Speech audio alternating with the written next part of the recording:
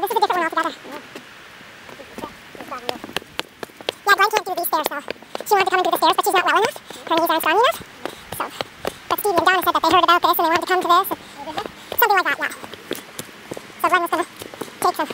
Well, now that is beautiful. Oh, the stairs.